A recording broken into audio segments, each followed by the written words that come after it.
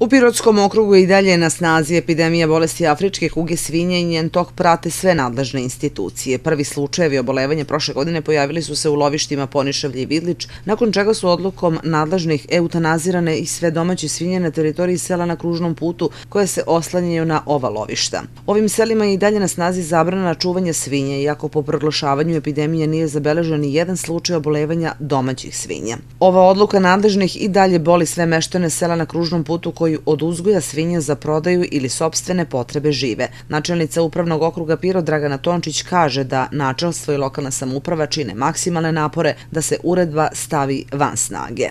Ja koliko sam mogla, pisala sam i ministru Nedimoviću, e, tražila sam da se e, ta zabrana, odnosno uredba skine, baš za sela sa kružnog puta, s obzirom da njima još uvek nije dozvoljeno, uredbi piše 365 dana monitoringa od poslednjeg uzrokovanja sa pozitivnim ovim nalazom na afričku kugu divljih svinja. Kod divljih svinja, tako. Naravno, s obzirom da se sporadično ponovo dešavaju od momenta nalaženja 365 dana i to ide u nedogled.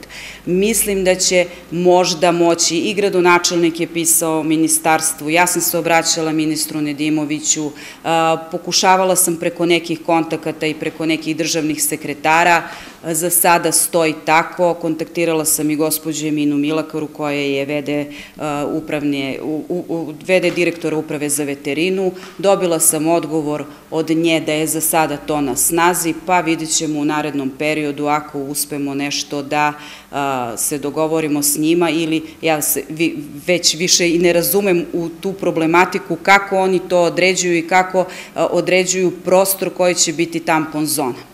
I rukovodila Centra za suzbijanje afričke kuge svinje iz Niša, inspektor Miroljub Marjanović je potvrdio za televiziju Piro da je potrebno da godinu dana ne bude bolest registrovana kod divljih svinja kako bi se ukinula epidemija. Sporadičnih slučajeva obolevanja domaćih svinje bilo je i u drugim selima u Pirotu, u kojima i dalje važi zabrana transporta i prometa mesa. Prateći aktuelno stanje na terenu, vreme epidemije, kaže Tončićeva, na teritoriji cijelog okruga sprovodi se aktivni i pasivni nadzor.